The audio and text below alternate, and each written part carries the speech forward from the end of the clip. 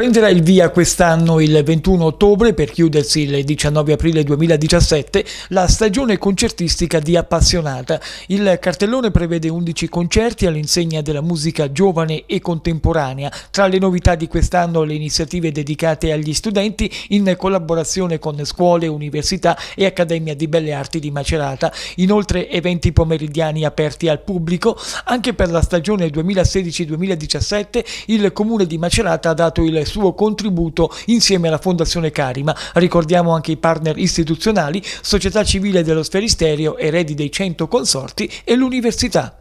La stagione concertistica del Teatro Lauro Rossi 2016-2017 è davvero una stagione centrata sui giovani per tante ragioni, soprattutto perché gli artisti hanno, sono affermatissimi, hanno vinto premi internazionali importanti ma sono giovani.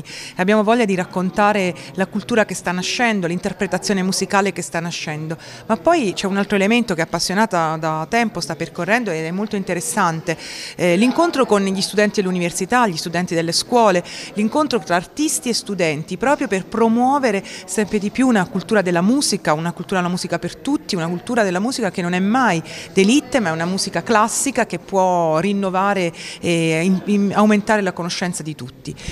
Sì, quest'anno abbiamo voluto dare un taglio diverso, dopo aver ascoltato i più grandi nomi del concertismo internazionale, eh, Sokolov, Zimmerman, Krylov, eh, Zuckerman.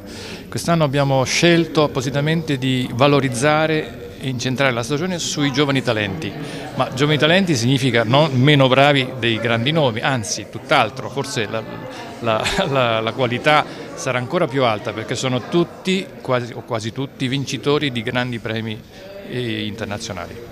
Quali le novità soprattutto da un punto di vista tecnico e di personaggi che magari potranno entusiasmare il lavoro Rossi?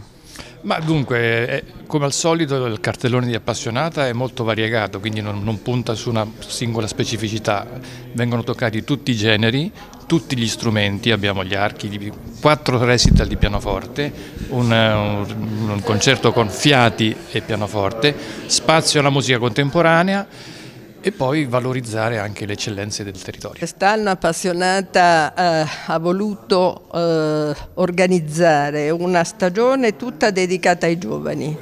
Dopo un anno di nomi altisonanti e di personaggi di spicco eh, mondiale, quest'anno abbimo voluto valorizzare i giovani talenti. Quindi sarà una stagione eh, impostata tutta sui eh, giovani.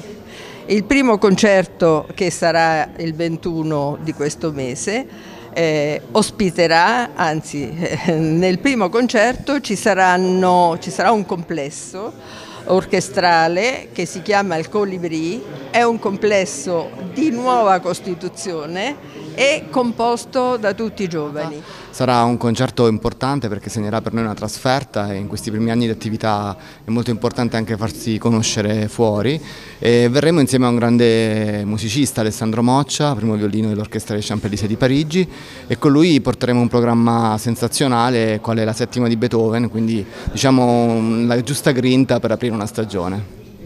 Oltre a questo, questo, concerto che lei ci ha pronunciato, quali le altre novità per la stagione sul finire dell'anno e soprattutto per l'anno prossimo? E quanti concerti ci saranno con l'innesto della Sam Colibri? Sì, poi ritorneremo anche con una formazione di musicisti che in parte sono parte diciamo, di questa orchestra, in un concerto eh, sempre della vostra stagione qui a Macerata. Il gruppo si chiama Podiformes e coinvolge quindi degli strumenti a fiato, cinque fiati con il pianoforte, un pianista che suonerà insieme a noi.